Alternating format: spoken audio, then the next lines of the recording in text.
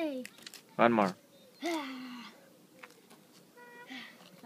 But I'm only going to do this part.